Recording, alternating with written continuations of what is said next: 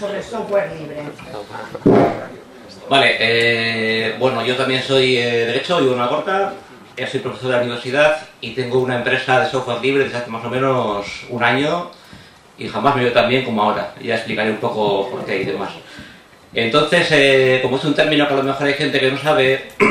nada más en dos pantallazos, pues bueno, pues comentar esto de software es una cosa tecnológica, evidentemente, pero tiene mucho de lo que es eh, tema filosófico, político, yo diría cultural y ético, ¿vale? Sin más, no voy a comentar eh, qué es lo que es.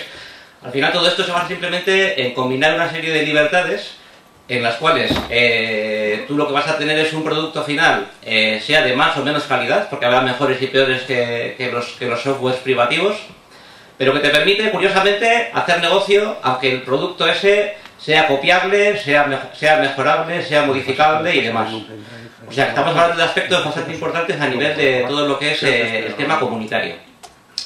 Me gustaba mucho antes, cuando ha comentado Ichiar, eh, el tema de, eh, bueno, pues todo lo que es la innovación, eh, la compartición de conocimiento, todo lo que es la promoción de lo local, creación de nuevos negocios y demás. Eh, yo ya digo, a mí me da, vamos, de miedo y estoy un poco asustado. Además, es una cosa curiosa porque no tengo ni página web ni tarjetas y, y vendo por el boca a boca y, y vamos, jamás me he ido tan bien ni con una empresa de grupo Iberdrola, IBV, IBM, ni en el gobierno vasco, ni en el mundo de la iglesia, ni en otros mundos que está por ahí trabajando. Vamos, eh, estoy en las nubes. Bueno, entonces un poco a lo que iba en relación a, a lo que ha comentado Ichiar, eh, bueno, a mí desde luego me parecen eh, palabras bonitas, pero luego hay que cumplir, ¿no? O sea, lo de los políticos que, que tal y luego esto. Entonces un poco, eh, ¿por qué lo digo? Vamos, con todo respeto, sé, sin más. Eh, yo pienso que eh, un uso realmente racional de los dineros destinados a tecnologías a nivel de administraciones públicas no sería el invertir en licencias de multinacionales tipo Microsoft, Oracle o semejante, que al final ese dinero se va a Irlanda porque en Irlanda están todos los eh, mayores descuentos eh, para, para todo el tema multinacional y demás. ¿No sería esa la forma de utilizar racionalmente los recursos públicos? Sino, en mi opinión, la, la forma adecuada, digamos, sería eh, ese dinero que tú destinas a unas licencias, que al final es eh, un gasto, porque no es una inversión, es un gasto, que tú destinas y que se va fuera del país, destinarlo, ¿por qué no?, a crear, eh, a crear empleo, a crear empresas locales, pero eh, siempre desde una perspectiva de crear un producto para la comunidad, ¿no? Es todo lo que son los commons, las- las- la, la- la propiedad un poco comunal, que en este caso sería en forma de programas. Es decir, si todo el dinero que se ha gastado la Diputación, que está ahí patrocinando esto y que tengo, pues bueno, pues respeto, porque evidentemente es una institución y tal, si todo ese dinero que se ha gastado, por ejemplo, en sistemas de gestión documental, desde que yo empecé a trabajar con ellos en el año 93, cuando acabé la carrera, lo llega, lo llega a invertir en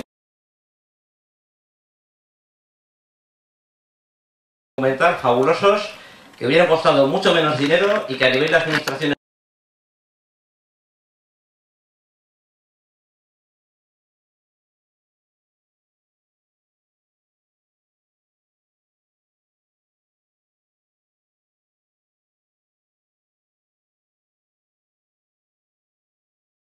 a tener éxito sería, eh, o sea, yo para mí, una empresa grande que se lleve eh, el gato al agua va a ser aquella que consiga convencer a, convencer a las instituciones públicas, con este gobierno que viene ahora, con el que venga, o, o me da igual con cuál, convencer a las instituciones públicas para que todo el dinero que está destinando actualmente a eh, desarrollos con software privativo, que al final, como digo, es un dinero que se va fuera del país, lo invierta eh, localmente. O sea, que cree una, una red de empresas, no sé si una empresa grande, una red de empresas o cómo, y que todo ese dinero que está destinándose hoy en día el gobierno vasco, o la diputación, o los ayuntamientos, o lo que sea, a, so- a- software privativo, lo inviertan en software libre.